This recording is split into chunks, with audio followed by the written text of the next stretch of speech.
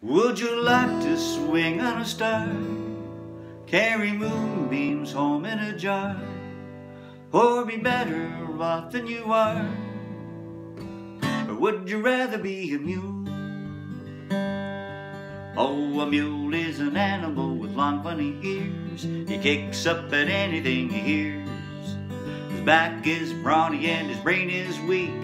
Just plain stupid with a stubborn streak. But by the way, if you hate to go to school, you could grow up to be a mule. Would you like to swing on a star?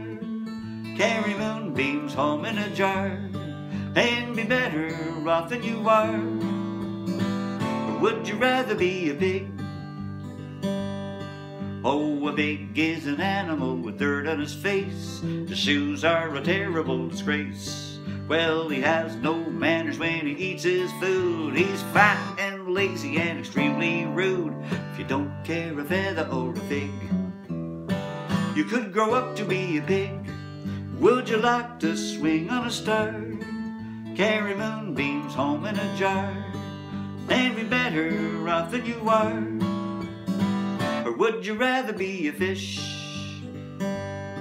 Oh, a fish won't do anything but swim in the brook. He can't write his name or read a book. Oh, to fool the people is his only thought. And though he's slippery, he never gets caught. But then, if that sort of life is what you wish, you could grow up to be a fish. Would you like to swing on a star? Carry moonbeams home in a jar and be better off than you are. You could be swinging on a star.